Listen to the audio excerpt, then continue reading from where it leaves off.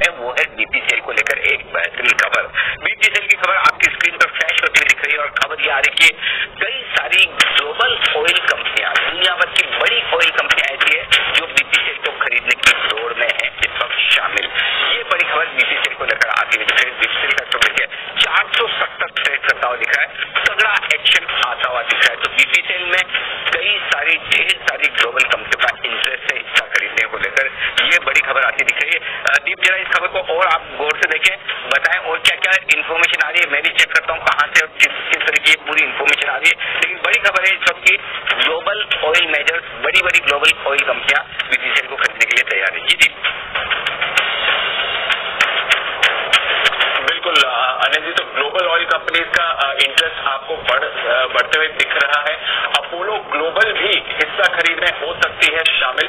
आपके लिए ऐसे आते हुए दिख रहे हैं तो डेफिनेटली सर पीटीआई के हवाले से ये खबर हमारे पास आती हुई दिखी है तो क्रेडिबल सोर्स है कि global oil companies global companies essentially इस समय इंटरेस्ट दिखा रही हैं बीपीसीएल के डाइवेस्टमेंट प्रोसेस में बीपीसीएल के प्राइवेटाइजेशन प्रोसेस में इनका इंटरेस्ट बढ़ रहा है और देखिए स्टॉक भी उस पर रिएक्ट कर रहा है। आई स्क्वाड कैपिटल ये भी यहाँ पर हिस्सा खरीद सकते हैं तो ऑयल कंपनीज़ के अलावा कुछ फंड्स भी हैं यहाँ पर इंटरेस्ट जता रहे हैं तो देखना पड़ेगा कि क्या ऑयल कंपनीज़ और फंड्स मिलाकर एक कंसोर्टियम बनाएँगे या फिर अपनी सेपरेट कैपेसिटी में हिस्सा खरीदने की आ, आ, बात कर रहे हैं। बट आई स्क्वाड कैपिटल और अपोलो ग्लोबल जैसे दिग्गज ग्लोबल फंड भी इस रेस में अब शामिल होते हुए दिख रहे हैं। तो डेफिनेटली सर ये बड़ा विनिवेश प्रोग्राम है सरकार का और इसमें ग्लोबल ऑयल कंपनी साथ ही ग्लोबल फंड का इंटरेस्ट बढ़ते हुए दिख रहा है। पीटीआई के हवाले से ये खबर आ रही है सर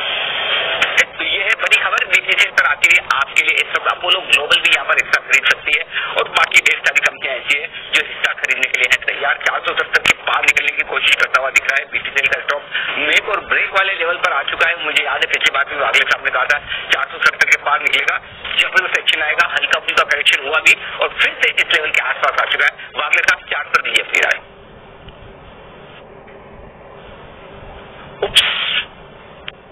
आज वागले साहब भी नहीं है और कुणाल नहीं है गए वो मैं आपको बताता हूँ उससे पहले बागल साहब नहीं है, लेकिन हिमांशु जी, जरा आप चार्ट देखिए फिर। जी जी, बिल्कुल। अनिल जी आपने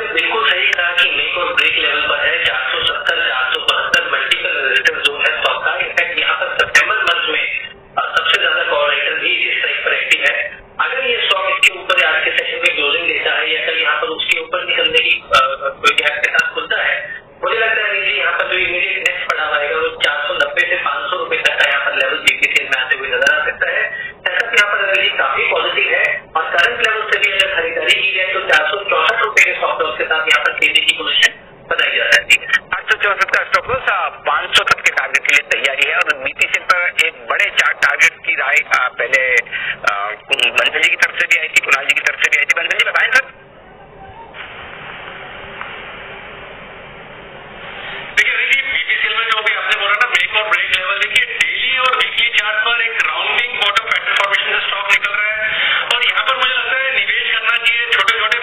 छह रुपए के लॉस नहीं लगाने चाहिए।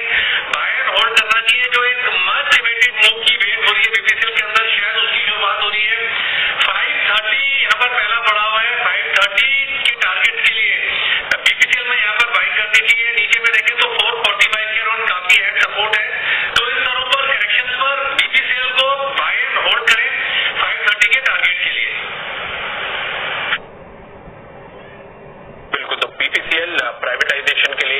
बड़ी खबर आती हुई दिखती है। दस बड़ी कंपनीज़ इसमें हिस्सेदारी खरीदने के लिए तैयार हैं और कुछ ग्लोबल फंड भी हैं जो रेस में शामिल हो सकते हैं। और ऑफकोर्स भूलिएगा नहीं, सोलह सेप्टेम्बर डिविडेंड के लिए एक्स डेट है तो वहाँ पर भी आपको रखनी है नज़र जो अट्ठावन रुपए पर शेयर का डिविडेंड